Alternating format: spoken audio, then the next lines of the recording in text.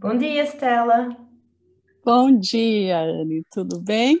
Tudo bem, é fantástico ter-te hoje e agradeço-te muito, antes de começarmos, a aceitar partilhar a tua experiência de trabalho comigo e como é que isso transformou a tua vida. É um prazer, Anne, falar sobre o seu trabalho, sobre como isso transformou a minha vida. É, eu gosto muito de ouvir estas palavras e adoro ver este sorriso, porque há um tempo atrás lembro bem que não era tão fácil uh, ter este lindo é. sorriso nos teus lábios. é verdade, é verdade. Era bem, bem difícil mesmo. Era mais fácil chorar do que sorrir, devido à situação que eu estava passando, né? Anne, é, é, deveria já ter feito é, é essa gravação antes, né? Mas estava é, bem ocupada, bem busy mesmo e peço desculpas porque já deveria ter mostrado para todo mundo como é importante, como faz bem essa sessão, esse seu trabalho maravilhoso. Mas justamente por estar fazendo tantas, tantas coisas, eu acabei não não passando esse vídeo, né? Mas é, é super importante. Eu até assim escrevi, porque é muita coisa para contar, e eu acabei escrevendo para não, não, não esquecer de contar alguma coisa que possa ser importante e que vai ajudar todo mundo. É, eu não sei, você, não sei se você gostaria de fazer as perguntas. Sim, ou... vou-te fazendo as perguntas e vamos, vamos conversando e depois podes também uh, qualquer coisa que tu queres transmitir às pessoas, ok? Tá bem, querida. Então podemos começar. Ótimo. Então, Stella, conta-me um bocadinho o que é que te levou a trabalhar comigo? Como é que chegaste até mim? Eu, é, eu posso dizer que eu estava doente, porque eu, eu tinha assim, um problema, eu moro na Inglaterra e há muitos anos, já mais de 15 anos, eh, falo inglês e tenho meu business aqui na Inglaterra e, e, chegou assim uma altura que eu achava que eu não falava inglês. É, sempre falei inglês. Chegou uma altura que eu estava bloqueada, eu não conseguia falar inglês, eu não conseguia entender meu neto que nasceu aqui. Ah, antes, de, quando eu percebia que a pessoa era nativa, ah, aí piorava, aí ficava bloqueada, eu não conseguia é, falar inglês um bloqueio bobo, estúpido, mas isso aconteceu. Eu, uma pessoa super ativa, sempre fiz tudo, me rasguei, morando aqui há tantos anos também, né? E eu não conseguia falar inglês. Eu, eu não sabia o porquê, simplesmente foi isso que aconteceu. Né? E foi onde, foi onde eu procurei a sua ajuda. Exato, sim, exato. Lembro-me bem de falarmos disso e de, de falarmos como é que era possível que uma pessoa como tu, que estava tão ativa uh, e, tão, e tão rodeada na tua parte familiar, mas também na tua parte profissional, de repente as coisas uh, sem, sem explicação. O meu, próprio, o meu próprio negócio que eu montei aqui na Inglaterra, e o meu business, e sabe, para você ter um business, você tem que falar inglês, né? Pelo menos um bocadinho, né? Claro. E eu, de repente, me vi assim, nessa coisa que não, não andava. E aí, sim, frustrada, né? Eu fiquei frustrada e envergonhada de falar para as pessoas isso. Então, eu evitava. Quem falasse inglês, evitava. eu evitava. Eu conversava com meu neto, sempre conversei com meu neto, ele nasceu aqui. E chegou uma altura que eu, eu estava com vergonha de conversar com o meu neto, porque ele nasceu aqui, ele é um native speaker, e eu não, não entendia o que ele falava, né? Mas voltamos a, ao assunto. Então foi aonde eu fui procurar a sua ajuda. Estela, conta-me, há quanto tempo estavas assim, nessa altura, quando começamos a falar as duas? Eu acho que eu, eu já estava há uns dois, quase dois anos, porque foi uma coisa assim que começou antes da pandemia, há um ano antes da pandemia, é, quase, quase há dois anos eu estava me sentindo mal daquele jeito. Então também te demorou a ti algum tempo de decidir parar o tempo e, e cuidar de ti? Sim. De alguma uhum. forma. Sim, isso. Demorou. É, é que eu disse, né? A gente sempre busy, né? Sempre na correria. Então, Exato. acabou demorando um pouco para procurar ajuda mesmo. E porque a, a, a, princípio a gente acha que não é nada, a gente acha que é cansaço, né? E que tudo vai se resolver, vai, vai se normalizar. Foi isso que aconteceu, não se normalizou até eu procurar ajuda.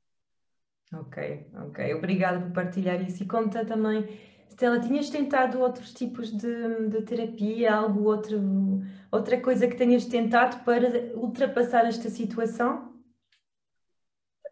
Não, assim, não esta situação especificamente, né? Mas eu já tinha tentado outra terapia, a psicologia convencional, né? Tradicional, eu já havia tentado, assim, para é, me tornar uma pessoa uh, mais confiante, menos estressada, né? Resolver assim, alguns problemas, problemas familiares, e é, eu achei muito difícil, uh, não consegui muitos resultados com a terapia. Okay. E e mesmo porque é um compromisso é, que você adquire estar ali presente na sessão periodicamente. No geral, a gente está presente semanalmente, né? E eu achava isso muito difícil, porque a minha vida já é cheia de compromissos. Acho que a vida de todo mundo é cheia de compromissos. E eu assumi mais esse compromisso de estar ali sempre, toda semana, né, para cuidar de mim, eu achava mais difícil. E essa proposta da hipnose é diferente, né? Não é, é, é, é, é lógico, é um compromisso com você, sim, é, após a, a, sessão, mas não é aquele compromisso é, rigoroso onde você não possa fazer o seu horário, né? Porque pensa, você marca com um profissional que está ali para atendê-lo e, e, você não, não, não, não, pode estar presente, é, é muito frustrante isso para ambos os lados, né? E com, com a, a, sua, com a hipnose, né, com esse método, é, a gente não precisa ter esse compromisso semanal, né, e temos sim uma técnica depois, não é, que, que a gente é, é ideal fazer todos os dias, mas aí é uma técnica que fica a sua escolha, o seu horário, né, é diferente. E e, e, assim, eu acredito que o trabalho feito anteriormente, ele não, não é um trabalho assim tão profundo como a hipnose. A impressão que eu tenho é que a hipnose, ela, ela vai para o seu inconsciente muito rápido, né? Para limpar tudo que está lá, que, que te afeta, tirar fora. Tudo tá, é, é como se fosse um lixo lá na, no seu inconsciente, né? E ocupando o seu inconsciente. E a hipnose é mais efetiva nesse aspecto, ela é, é rápida, né? Para tirar esse lixo todo, muito mais profunda. E é isso.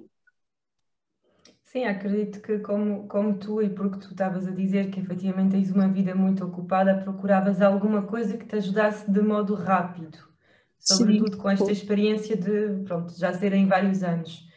Por isso acredito que também nisso encontraste algo que uh, em, em poucos, poucas semanas conseguiste dar a volta a muitos temas uh, de um modo muito, muito rápido.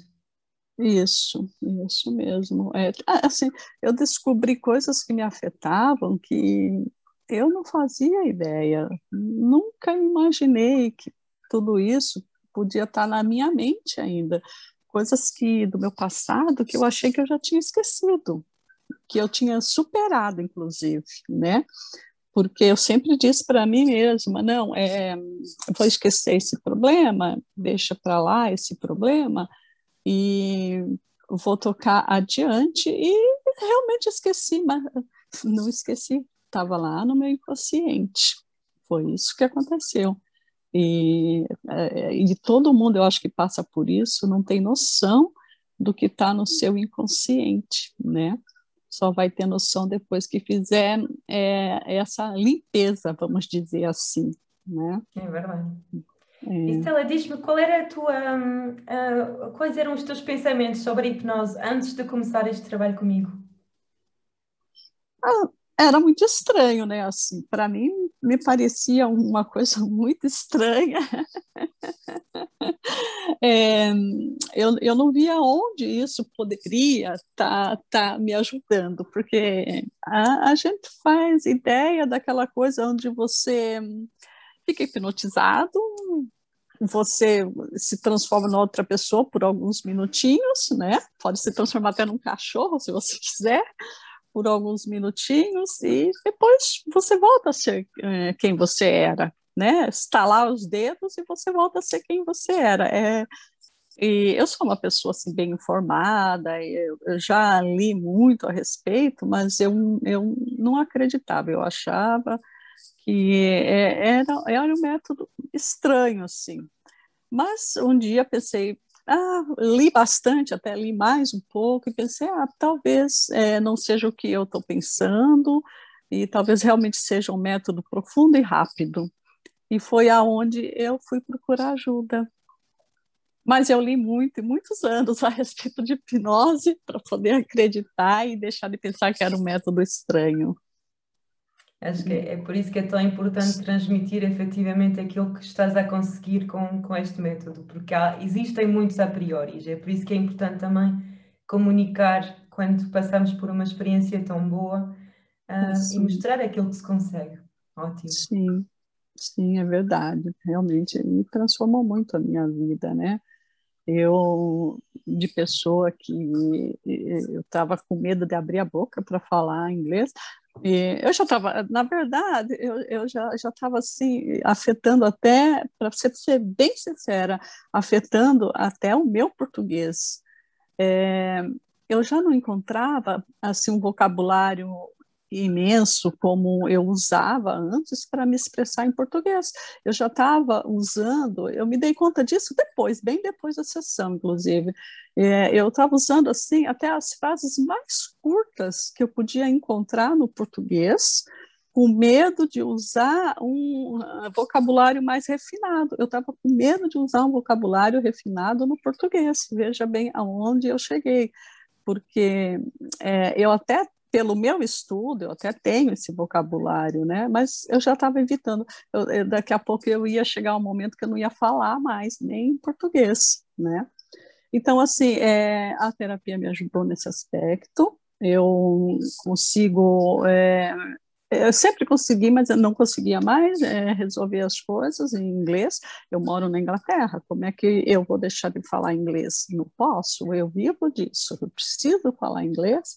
Então, a, com a terapia, eu me descobri, é, redescobri falando, falando inglês, entendendo o meu neto, que olhar para o meu neto era uma coisa frustrante, eu consegui, até domingo passado, agora eu estive com ele, olhei bem nos olhos dele e conversamos, né, porque o meu neto era a pessoa que mais me preocupava com tudo isso, porque o meu neto um dia falou para mim, vovó, você não entende o que eu estou falando.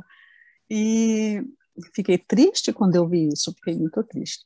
Então, assim, consigo fazer todos os meus negócios, converso com o meu neto, é um alívio.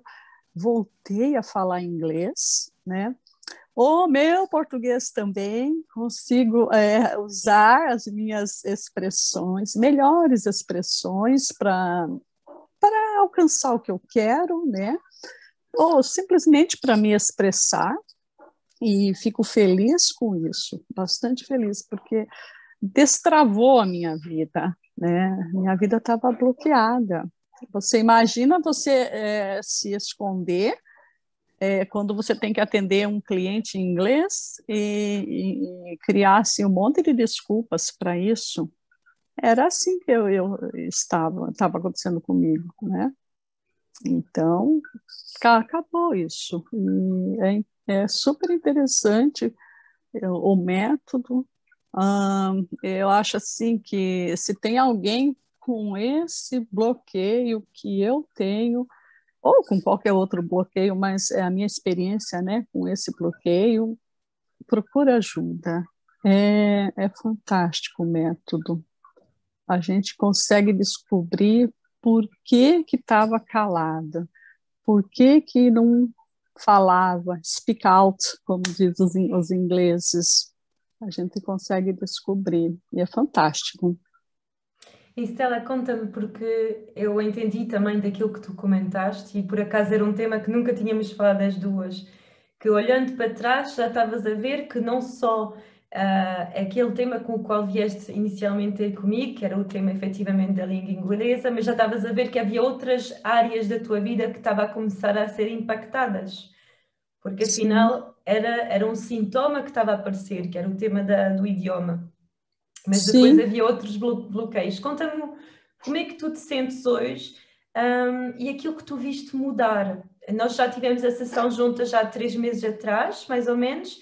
O que é que tu viste mudar, não só nessa parte um, da fluência e da vontade e da confiança, que também foram temas que, que trabalhamos, mas o que é que tu viste mudar além disso à tua volta? Nossa, bom, confiança eu vou falar sempre. É, eu sou outra pessoa, muito mais confiante, né? E é, assim, uma, eu comecei a me sentir uma pessoa mais feliz, com muito mais vontade de seguir os planos, que inclusive é, eu tinha alguns planos abandonados, planos antigos abandonados, é, por assim por não acreditar na, na, minha capacidade, né? E eu consegui tocar adiante esses planos, estou trabalhando neles e está me trazendo assim uma felicidade enorme. E então assim é, é a felicidade, é a alegria, é o prazer de, de realizar os sonhos, deixados de lado por falta da, da confiança, né? É, é, isso, a alegria em geral, assim, estou me sentindo outra pessoa, cheia de energia, inclusive, para é, levar adiante esses planos e continuar os negócios, né, que começaram a florescer novamente. É magnífico ouvir isso. E conta-me, quando tu olhas para o futuro, como é que tu, como é que tu vês os, as próximas etapas da tua vida? Nossa, eu vejo com bastante alegria. Busy, porque justamente por, por estar assim num outro nível agora, né? Eu estou mais busy do que antes. E, mas assim, eu vejo assim com muito, muita alegria, mesmo sucesso, é, esses planos eram planos muito antigos que eu tinha e não saíam da gaveta e era uma coisa que eu gostaria muito de trabalhar numa área minha que eu gosto, que eu entendo e essa falta de confiança, como eu já disse anteriormente, não me deixava nem começar a lidar com esses planos. E eu me vejo assim com sucesso, bastante sucesso, fazendo uma coisa que eu gosto e aqui nesse país que eu gosto tanto, né? Eu amo esse país aqui, adotei como meu. E é isso. Eu me vejo assim uma pessoa com muito sucesso. Lindo. E então... feliz, né? Obrigada por partilhar. É um sorriso fantástico, como eu estava a dizer. E diz-me, o que é que tu dirias às pessoas que, que adiam à procura de uma solução que tu também adiaste durante dois anos, porque pensavas que ah, vai se resolver, é só stress, Sim. é só hum, se calhar cansaço também. O que é que dirias uh, e, e o que é que aconselhavas neste caso? Eu digo para todos, não, não adiem, não adiem a, a procura por uma ajuda. Não adiem. Quanto mais a gente adia, pior a gente se sente, né? E não adie, procure, procure em você. É, você é uma pessoa especial, é uma profissional realmente preparada, Anne. E não foi só a terapia, eu acredito que foi você, foi o seu conhecimento é, que me ajudou, a sua experiência, a sua sensibilidade, inclusive, é, eu acho é, nesse tipo de terapia também é importante a pessoa perceber, o profissional, eu digo, perceber o que realmente acontece com quem está fazendo a terapia e encontrar é, as palavras adequadas, as sentenças adequadas. Isso é muito importante, porque isso vai impactar no nosso consciente. E você é uma pessoa preparada para isso. Então, assim, eu aconselho todo mundo, não deixe, não deixe para mais tarde, procure logo ajuda, procure uma ajuda, a ajuda de uma pessoa profissional e capacitada com você, como você, tá bom, querida? É Obrigada, é isso que eu, eu aconselho. Muda, realmente muda a vida da gente, muda muito. É importante fazer este primeiro passo de te cuidar de si. Sim, uhum, sim, importantíssimo. E Stella, uma última pergunta: o que é que achas que foi um, a coisa mais importante em todo o processo para tu alcançares um sucesso tão grande, de mudar tantas coisas na tua vida depois de termos iniciado este trabalho junta? Desculpe, eu não ouvi a primeira parte. Qual foi a coisa mais importante para ti uh, para alcançar sucesso com esta experiência comigo? O que é que para é... ti foi o ponto-chave? assim, foi a confiança que eu adquiri, que eu redescobri. Isso foi assim é, o ponto chave. Eu redescobri a confiança no meu potencial. Eu havia perdido. Isso foi o ponto chave. Eu não sei se é essa questão que você fez, é, porque eu redescobri uma nova Estela, é, a, nova, a confiança que eu havia perdido. Isso. O potencial, né? Porque assim, todo ser humano tem um potencial, né, para resolver é, a sua vida em geral. E eu havia perdido isso e redescobri esse potencial que eu tenho. Fantástico. Muito obrigada, Stella. Imagina, é um prazer, Anne. E fico feliz que você está aí, existe nesse mundo Sou muito grata pela sua presença, por Deus ter te colocado na minha vida. Sou muito grata, me ajudou muito mesmo. O mais importante é que tu decidiste ajudar-te a ti mesmo, Stella. Obrigada. Muito obrigada. Eu que agradeço, Anne. Você é fantástica. Muito obrigada. Thank you.